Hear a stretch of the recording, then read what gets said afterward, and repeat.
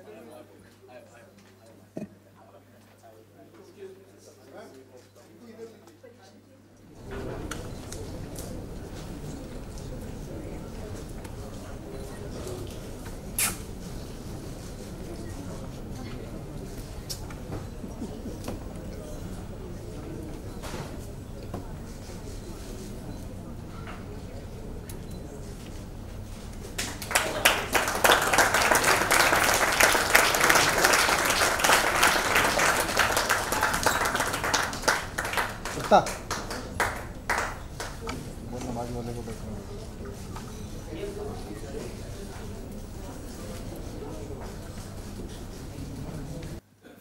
This was actually given to me by my father. I, I was on a mission in the early years, around 68, 69, to the city of Mumbai to seek a job in the film industry. And I uh, was, um, I was asked to do a, a, a screen test, which I did thanks to uh, some very well-known people. I'm not going to name them now. Uh, and later on in the evening, they said, well, you know, you're here for a day. We are going out to a party. Why don't you come along? And I went along with them. And at the party, I I saw things which were kind of disturbing. I mean, um, everyone was happy and they were having their drinks and eating their food, and then some discussion took place between one of the celebrities and a journalist, and a fight broke out.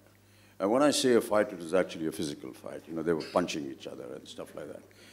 And what was really amazing was that the hostess, who was also a very prominent celebrity, was unconcerned with this punch up and was serving up, what would you like to have, sir? And then just serving the f- all over. And I felt this was rather odd, so I just stepped out of the house. And when I came back, I narrated this to my father and said, You know, you have to be like Balrajji. You have to be in it to get out of it.